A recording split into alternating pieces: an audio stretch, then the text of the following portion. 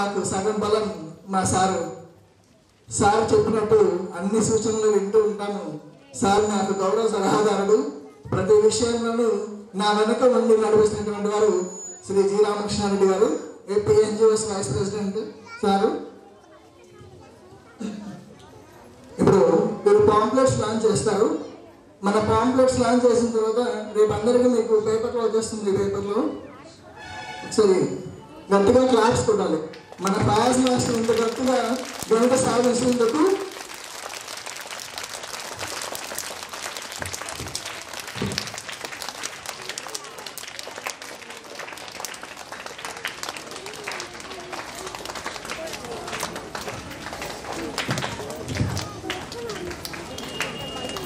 నృత్య కళాక్షేత్రం. మన పిల్లలు సాధించినటువంటి ఘనత మన పిల్లలు పెట్టినటువంటి ఫంక్షన్స్ అన్నీ కూడా అందులో పొందుపరిచి దాని వివరాలన్నీ కూడా తెలిపాము. నవోదయ మనం కొత్తగా లాంచ్ చేసిన ప్రోగ్రాము. దానికి కూడా ముప్పై తేదీ నుంచి కొత్త thank you for launching our complex give a big clap for launching our school complex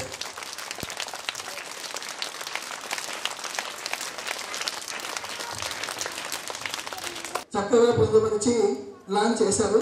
వారికి మా కృతజ్ఞతలు. ఇప్పుడు మన chief guest Shri G Ramakrishna గారు మాట్లాడతారు.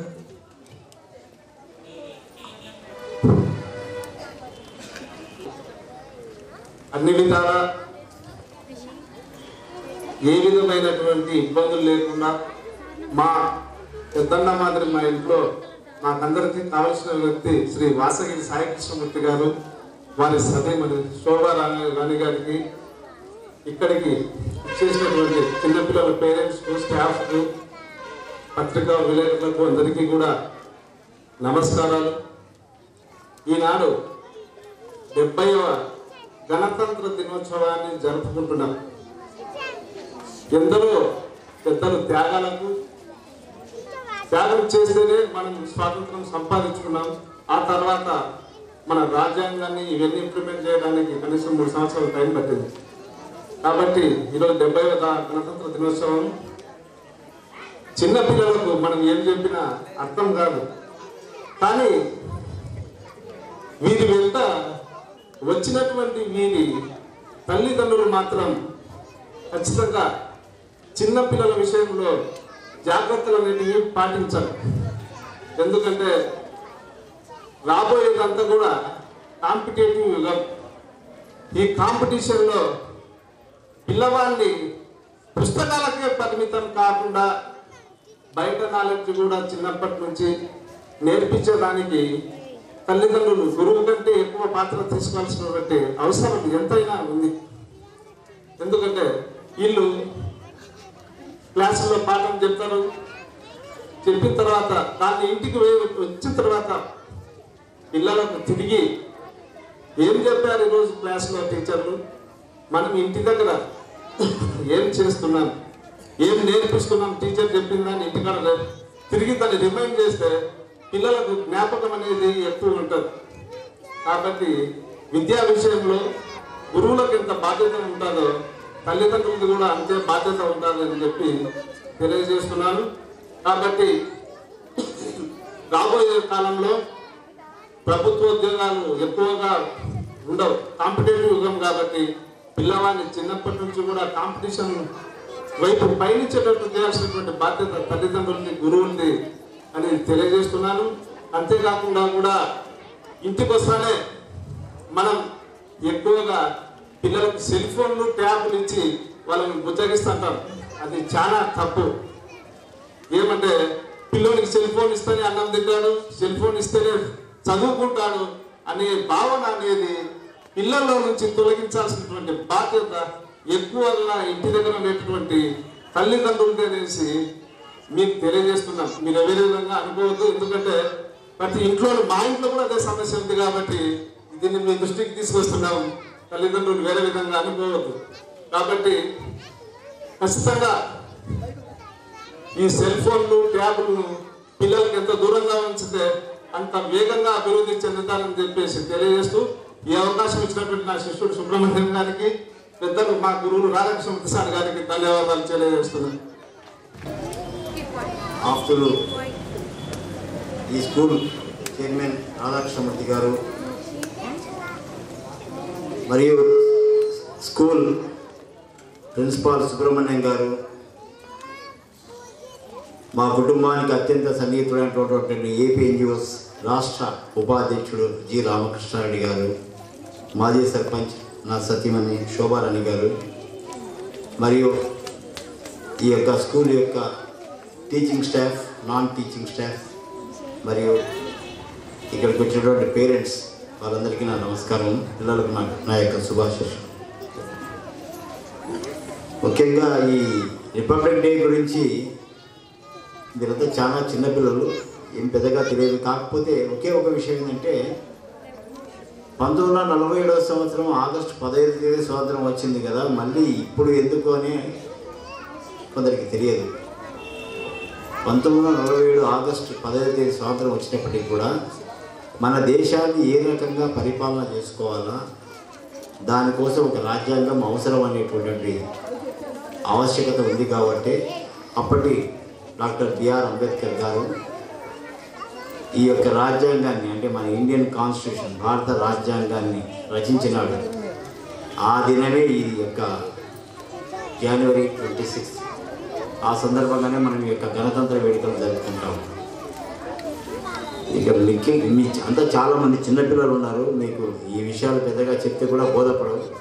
నాకు ఒక్క విషయం నచ్చింది ఏంటంటే ఈ స్కూల్కు మొట్టమొదట స్టార్టింగ్ టైంలో వచ్చినప్పుడు నేను రాధాకృష్ణమూర్తి గారు ఎందుకంటే నాకు చాలా సన్నిహితమైనటువంటి ఆప్తుడు కాబట్టి ఏం రాధాకృష్ణమూర్తి గారు ఇప్పుడు స్కూల్ స్టార్ట్ చేస్తున్నారు. చాలా స్కూల్స్ వచ్చేసినాయి కదా మరి.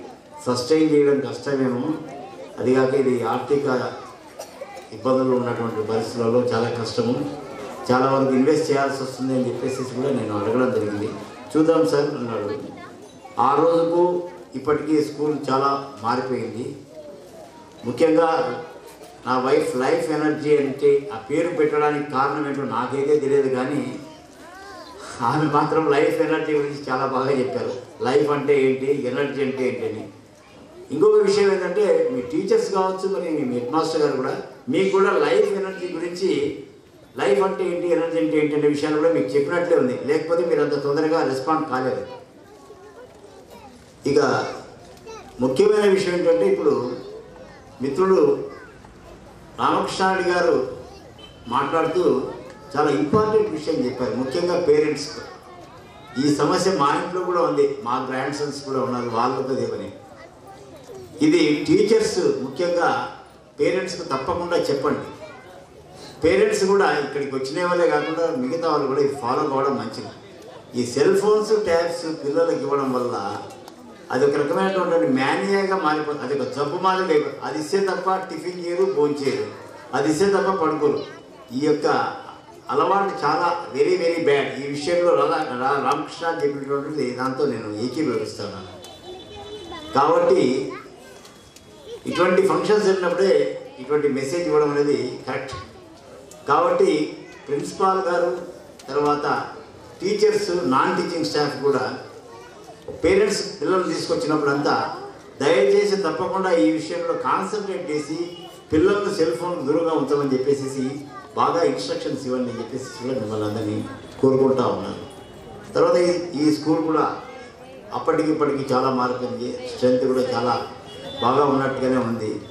ముఖ్యంగా పిల్లలకు రెండు రెండే రెండు విషయాలు. మీకు అర్థం అయ్యే విషయాలే చెప్తాను. జన్మభూమి అంటే ఏంటి? మనం పుట్టినటువంటి ఈ గూరు. అంటే ఎవరు ఎక్కడ పుట్టింటే ఆ ఊరు అది జన్మభూమి. తర్వాత కన్న తల్లి జన్మభూమిని కన్న తల్లిని ప్రేమించండి. మనకు జన్మభూమి అయితే మనం పుట్టిన ఊరే కాకుండా మనం పుట్టిన యొక్క ఈ రాష్ట్రము ఈ పుట్టినటువంటి దేశం కూడా. జన్మభూమి అందరికీ జన్మభూమి.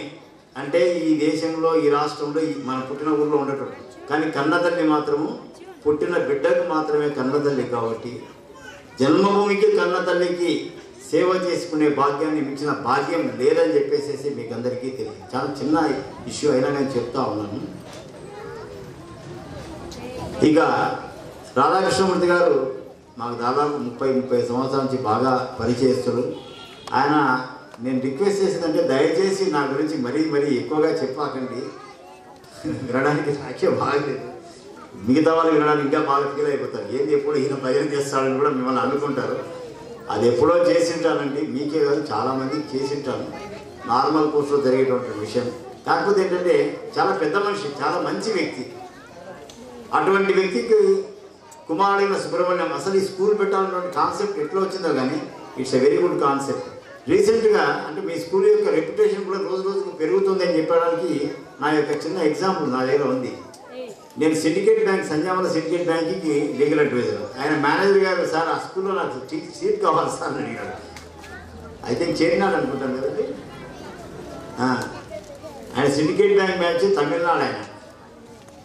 ఏమి ఎందుకు మా ఊళ్ళో చాలా స్కూల్స్ ఉన్నాయి లైఫ్ ఎనర్జీ స్కూల్కే ఎందుకు? అక్కడ రాధాకృష్ణమూర్తి గారు బాగా తెలుసు ఆయన. ఆయన అంటే లేదు సార్ నేను పోతాను పోయి అడుగుతాను మీ పేరు చెప్తాను. అవసరమైతే మీరు ఫోన్ చేయండి అని చెప్పినాడు. కానీ నా అవసరం నా ఫోన్తో అవసరం లేదు వచ్చినాడు. రాధాకృష్ణమూర్తి గారిని గెలుస్తానంటే చేరినాడు అంటే ఒకటి ఒక బ్యాంక్ మేనేజర్ మేనేజర్ క్యాడర్ ఉండే వ్యక్తికి బాగా ఐడియా ఉంటుంది ఎడ్యుకేషన్ మీద. వాళ్ళ పిల్లవాళ్ళని పిల్లలను పిల్లవాళ్ళని ఎంత చదివించాలో ఎక్కడ చదివించాలో దాని విషయంలో కూడా మంచి నాలెడ్జ్ ఉంటుంది. అటువంటి వ్యక్తి కూడా ఈ స్కూల్లో అడ్మిషన్ కావాలని కోరుకున్నాడంటే స్కూల్లో తప్పకుండా ప్రమాణాలు ఉన్నాయి కనుక కొన్ని ఈ స్కూల్లో మంచి ఎడ్యుకేషన్ ఉంది అనే మంచి ఉద్దేశంతోనూ ఈ స్కూల్లో చేర్చాలని చెప్పేసి ఆయన నిర్ణయం తీసుకున్నాడు. అలాగే ఇంకా చాలామంది కూడా నిర్ణయాలు తీసుకోవచ్చు. ముఖ్యంగా టీచర్స్కి అయితే నేను చెప్ మై మెసేజ్ టు టీచర్స్ మీరే ఈ స్కూల్కు మూలస్తంభాలు అడ్మినిస్ట్రేషన్ వరకు ప్రిన్సిపాల్ గారు తర్వాత చైర్మన్ గారు చూసుకుంటారు కానీ స్కూల్లో ఎడ్యుకేషన్ ఇన్స్ట్రక్షన్స్ ఎట్లా ఇన్స్ట్రక్ట్ చేస్తారు ఎట్లా టీచ్ చేస్తారు అనేది చాలా ఇంపార్టెంట్ విషయం. మీకు అందరికీ తెలుసు to teach is to learn twice అంటాం. అంటే ఒకసారి విద్య బోధించాలంటే రెండుసార్లు చదువుకోవాలి. కాబట్టి ఈ విషయాన్ని మీరందరూ గమనించి గుర్తుంచుకొని పిల్లలకు మంచి ఎడ్యుకేషన్ ఇస్తారని చెప్పేసి కోరుకుంటూ ముఖ్యంగా సెల్ ఫోన్స్ను అవాయిడ్ చేసి పిల్లలకు ఇవ్వకుండా అవాయిడ్ చేసే విషయంలో ప్రత్యేకంగా ఇంట్రెస్ట్ తీసుకోమని చెప్పి మిమ్మల్ని రిక్వెస్ట్ చేస్తూ ఈ కార్యక్రమానికి నన్ను ఆహ్వానించినందుకు యాజ్ ఇప్పుడైతే నేను సర్పంచ్ కూడా కాదు పదవులు లేనప్పుడు జనరల్గా ఎవరు పిలువ పదవులు ఉంటేనే పిలుస్తారు. కానీ రాధాకృష్ణమూర్తి గారు నా మీద నా వైఫ్ మీద ఉన్నటువంటి గౌరవంతో అభిమానంతో ఈ కార్యక్రమానికి పిలిచినందుకు మమ్మల్ని ఇక్కడికి వచ్చి మమ్మల్ని గౌరవించినందుకు మీ అందరితో కలిసి ఇంతసేపు మాట్లాడుకోనికి అవకాశం ఇచ్చినందుకు రాధాకృష్ణమూర్తి గారికి మరియు వాళ్ళ అబ్బాయి ఈ కళాశాల స్కూల్ ప్రిన్సిపాల్ సుబ్రహ్మణ్యం గారికి ప్రత్యేకంగా సెలవు తీసుకుంటున్నాను. జై జన్మభూమి.